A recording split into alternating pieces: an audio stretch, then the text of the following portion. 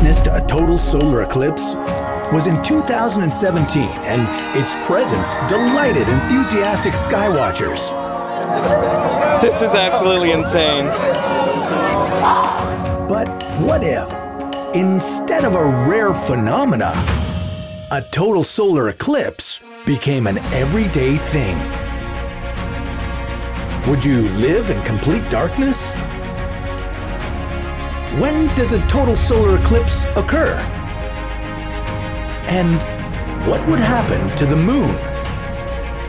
This is What If, and here's what would happen if there were a permanent solar eclipse.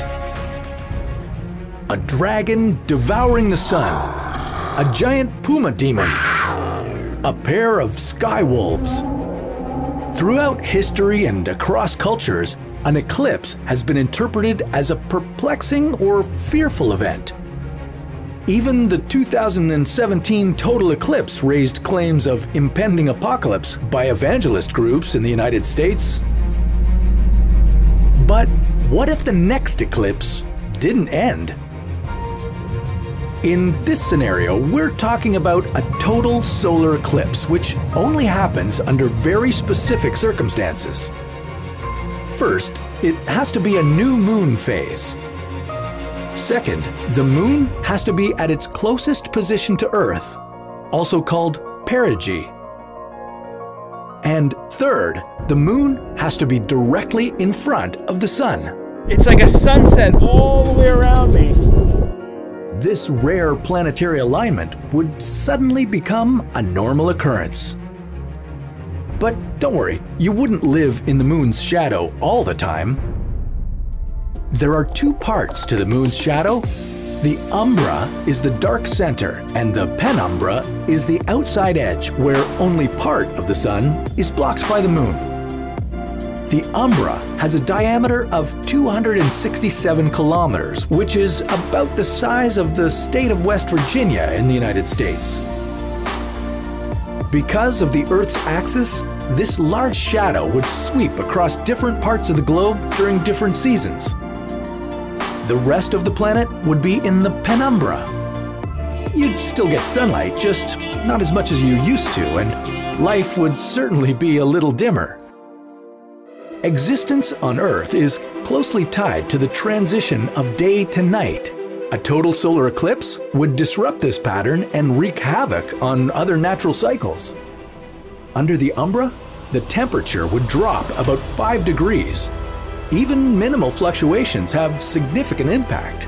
Temperature changes and lack of sunshine are not great for agriculture, so we would have to get creative with growing our crops in this new cycle of light and dark we would also see an increase in seasonal affective disorder, or SAD. This subtype of depression occurs during long winter months in high latitudes with lack of sunshine. You'd probably feel some of the same hopelessness and loss of energy under the moon's shadow. Though we'd have to come up with a new diagnosis, maybe eclipse affective disorder. In a typical total solar eclipse, the umbra moves across the globe from west to east, lasting only about seven and a half minutes.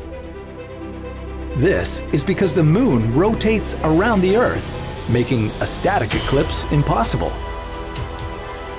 So the only way we could see a permanent solar eclipse is if the moon stopped rotating around the Earth. Without its own trajectory, the moon wouldn't be able to resist the gravitational pull from Earth and would eventually destroy us. If that were the case, then a total eclipse really would be a doomsday warning.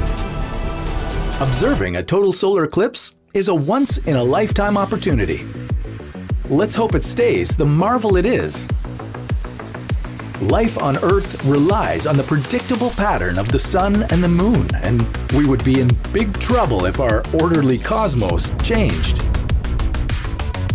If planet Earth screeched to a halt and stopped orbiting around the sun, what then? Well, that's a story for another What If.